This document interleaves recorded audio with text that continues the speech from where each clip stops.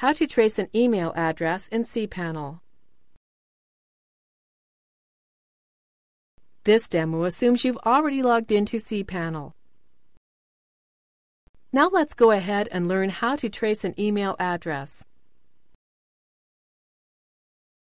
Click Email Address Trace. This is where you can test any email address by tracing its route from this server.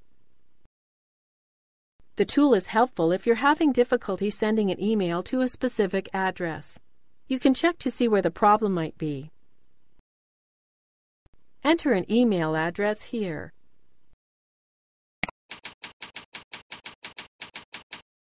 Click Show Route.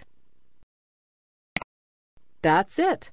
The route to the My Name at demo1234.com email address is shown here. From your cPanel, you'll be able to look for problems and see if a problem lies with your server or on the other end where the destination email address is located. This is the end of the tutorial. You now know how to check an email address by performing a trace from within cPanel.